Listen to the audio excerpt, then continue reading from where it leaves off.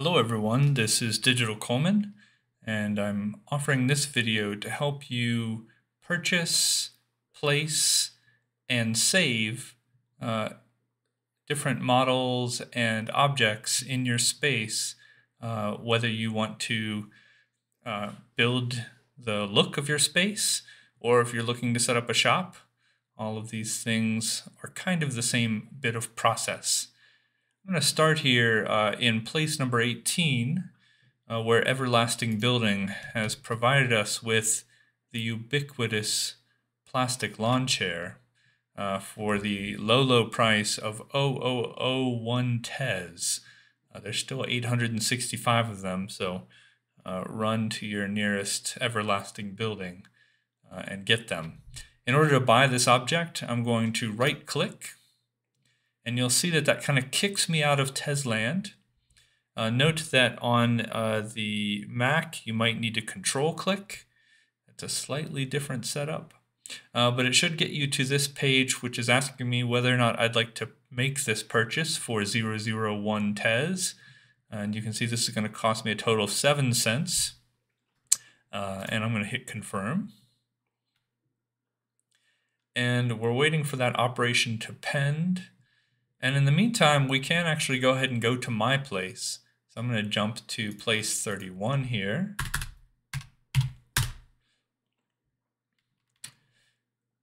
And I'm going to put another lawn chair. I've already grabbed one, but uh, I feel like I need another one over here. Just so like uh, somebody can have a conversation. Oh, we're having a load trouble here. Uh, uh, uh. All right. I used the X key, which is for unglitching. I think I was inside of an object when it spawned. All right. So uh, I've got some things I'm selling here. You can see my fun ground plane uh, that we just made a few minutes ago in my minting video. But uh, now what I want to do is I want to place this chair. I'm going to open up my inventory and you can see all the objects that either I have minted myself or that I've purchased from other people. Uh, and so all of those things will be listed here under the I. And so it's worth coming here. Uh, this also allows you to send these to somebody else or burn them. So in the case of ground two, this test piece of ground, I'll probably burn this later. Uh, but that's a sort of irrevocable operation. Like you're permanently deleting that from the blockchain. Uh, so it's just worth being careful. All right, so uh, I have this chair here and I want to place it in my space. Note that you can only place things in a space that you own or as an owner of a space, you can also give other people permission to help decorate your space, which is a really interesting feature and could be a way to set up community stores perhaps or uh, community parks. So I'm going to click on the chair and you can see initially it's kind of tracking to the ground. I can also sort of like track this to other things. So you can stack objects if you wanted to. And then uh, we have a whole bunch of key presses here from our control system that we should know about. So R and F allow us to make it larger and smaller. One and two will do your basic sort of rotation along the up-down axis, around the up-down axis. So this is the ones you might normally do, but three and four would let you do another axis here. And five and six, yet the third axis. So we could actually have fun and maybe make our chair stand up on one leg. I'm now using the mouse wheel to scroll up and down so that this chair might balance on one leg here. You'll also notice that it has a bounding box that's green. However, I move it so that part of the chair sticks out of side of my space, then the box goes red. Um, I can still move around while I've got this out, so it's worth checking out. Uh, and then I'm just going to use the mouse button to place that object. And immediately it's going to ask me a couple of things, uh, one of which is how many of them do you want to place? And if you're just decorating your own place, then you would want to leave this at 1 and you would want to leave your price at 0 because that means nobody can collect this, This is just for you to decorate your place.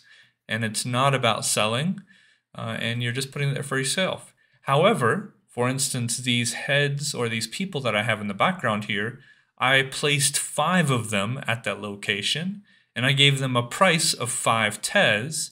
And so now uh, there will always be one here up until the last one, number five, is bought, and then it will disappear. So there's kind of a stack of five there ready to be bought. So in this way, these are sort of available in store mode, whereas this chair, if I'm decorating, I would leave this just at one and a price at zero. So it's really important. Also note here in the notes that if you do want to make this a giveaway, which, you know, the chair is pretty much a giveaway, you can actually just click on this link and it'll set the tez price to 0.0001 and then people can come and get your thing for free, basically for free. It might cost them a couple cents in transaction, um, but this is a really great way to sort of help the community with things that you've made that uh, you want other people to have. So uh, the chair is pretty much free. I think you might have reduced a couple of these zeros, but uh, just note that that option is here. But again, if I want to keep this chair for myself and not sell it, I need to put it at zero. So I'm going to place that item. And you'll note that immediately there's another chair floating around. Uh, this means that uh, it's ready for me to place a second thing. This is super helpful if you are placing a whole bunch of, say, flowers or grass or rocks. Uh, However, in my case, I already placed my one chair. I can't place another one. I don't own a second copy. So if I try and place it again, it's not going to work. But what I am going to do is press C, and that clears it out so that my cursor is no longer trying to place an object.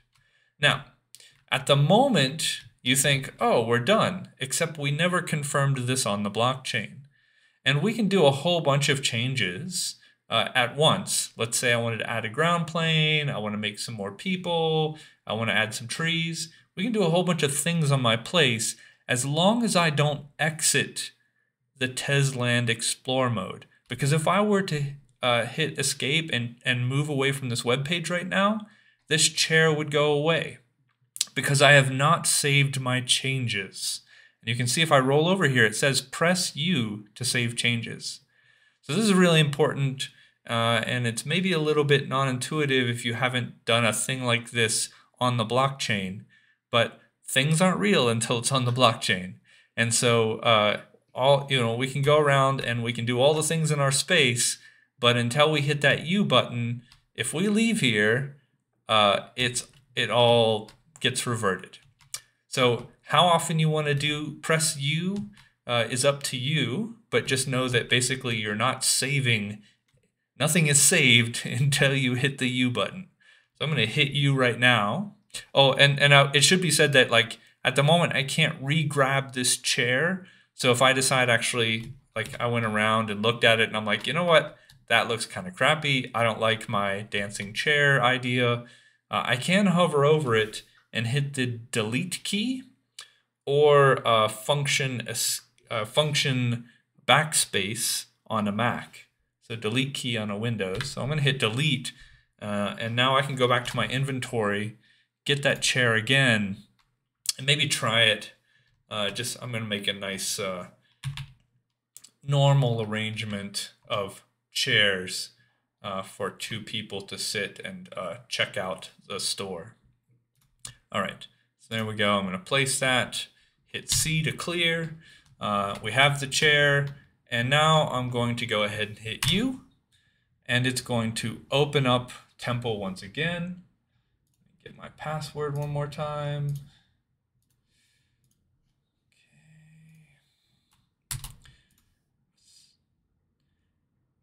and I'm going to confirm that transaction. It's going to cost me about five cents to say, yes, that chair should be there uh, as long as tz1and exists.